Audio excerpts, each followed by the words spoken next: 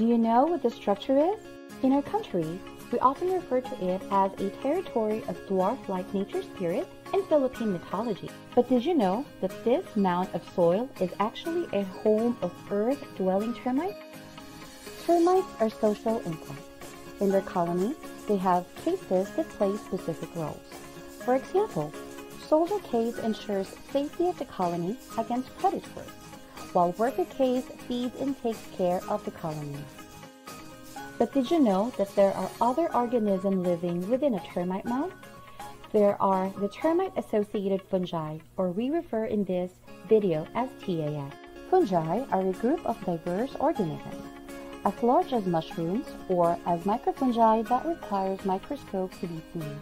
In fact, 25 million years ago, termites learned to farm fungi as their food source.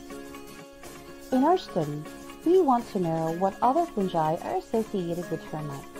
We collected termite workers and identified termite-associated fungi using morphological and molecular methods. We found out diverse fungal communities in termite bodies. In fact, we isolated 13 unique TAF in termite bodies as compared to the soil where the termites are inhabiting. Surprisingly, this unique TAF can be a good source of potential drugs. In fact, one of the 13 unique TAF was Curvularia affinis. In a study by Zhang et al. in 2012, this fungus was observed to possess two new metabolites, one of which is the pyranacin.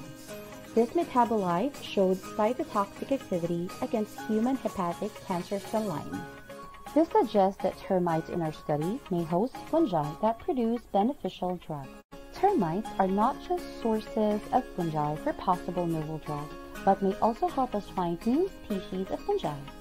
According to studies, it is estimated that there are 1.5 million fungi, but only more than 100,000 are well documented, and hence, there are lots of missing fungi that await discovery. In fact, one of our TAF could be a new species of Biatriospora, as inferred from our phylogenetic analysis.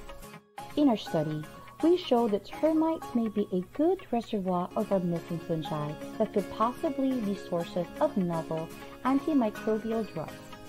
This and more are actually the reasons on why we should conserve our termites. Who knows the next species of fungi could only be living in a termite mound within your own backyard?